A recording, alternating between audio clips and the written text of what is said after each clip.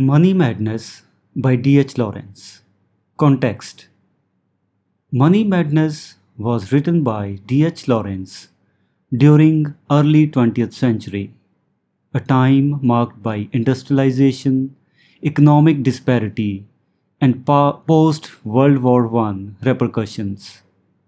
Lawrence's personal experiences growing up in a working class family influenced his perspective on money and society.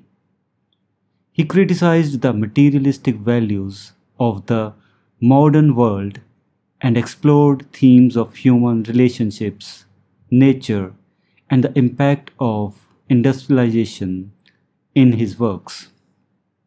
Themes Collective Money Madness The poem explores the collective money madness surrounding money within society. Lawrence argues that the relentless pursuit of wealth and the valuation of individuals based on their financial worth creates a fearful and cruel power dynamic among people. This collective money madness leads to an unhealthy preoccupation with money affecting both how people treat others and perceive themselves. Fear of poverty and degradation. Lawrence delves into the fear of poverty and the consequences it brings.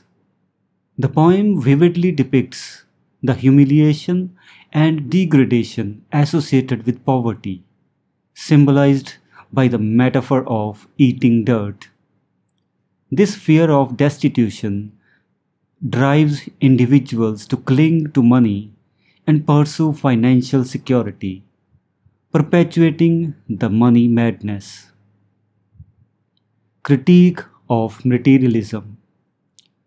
The poet critiques the materialistic values prevailing in society, where the possession of wealth is equated with one's worth.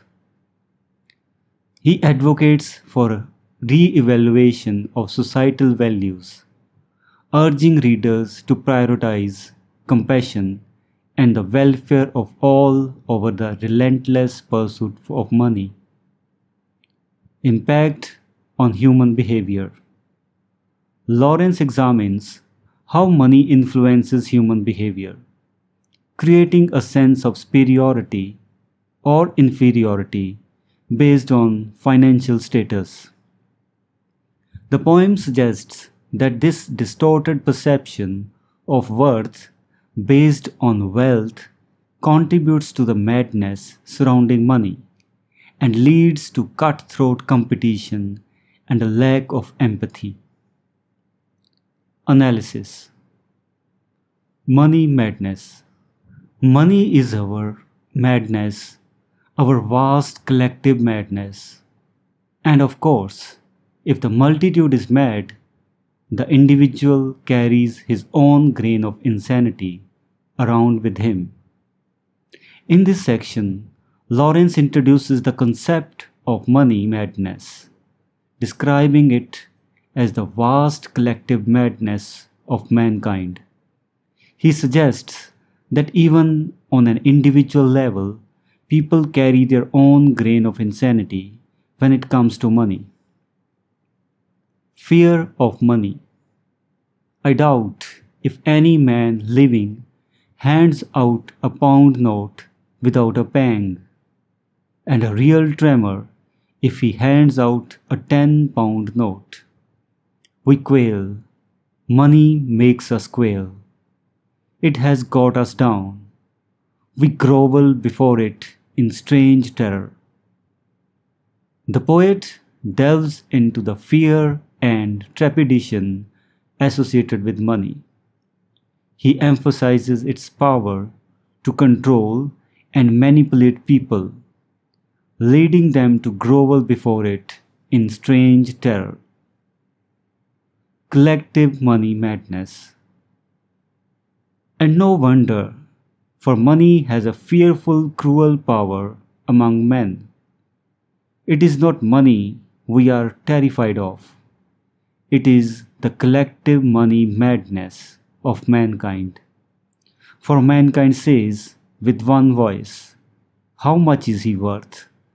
Has he no money? Then let him eat dirt and go cold.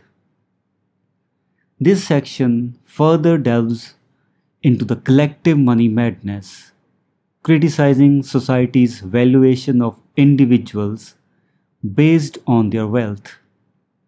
Lawrence condemns the mistreatment of those with no money and the cruel judgments based on financial status. The fear of poverty. And if I have no money, they will give me a little bread so I do not die. But they will make me eat dirt with it. I shall have to eat dirt. I shall have to eat dirt if I have no money. The poet expresses his fear of poverty and the consequences it brings, emphasizing the desperation and humiliation that poverty entails. Misplaced importance of money.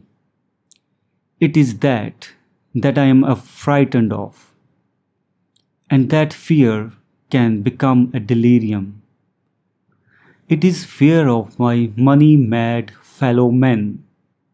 We must have some money to save us from eating dirt. And this is all wrong.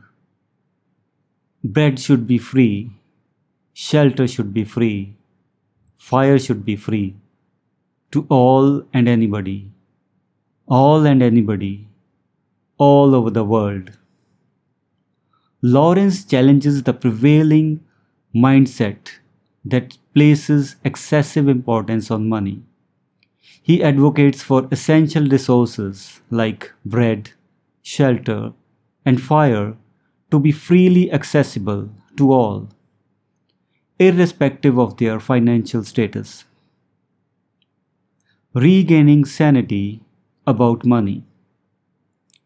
We must regain our sanity about money before we start killing one another about it. It's one thing or the other. In the final section, the author urges society to reconsider its approach to money, emphasizing the need to prioritize compassion and humanity over the relentless pursuit of wealth. He warns of the potential for violence and bloodshed if the money madness persists. This is what he wants to say in the last line. It is one thing or the other.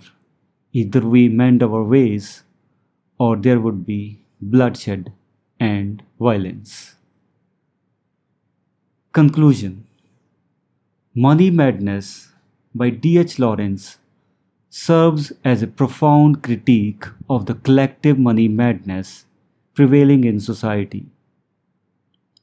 The poem urges readers to re-evaluate their priorities and regain sanity about money, emphasizing the importance of compassion and equality over the relentless pursuit of wealth.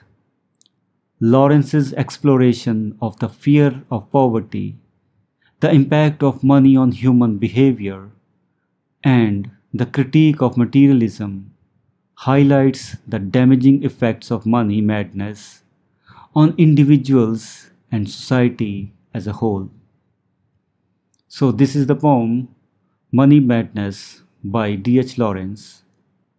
If you have any doubts or questions, you can ask in the comment section and we will meet in next video with some other poem. Thank you. Bye bye.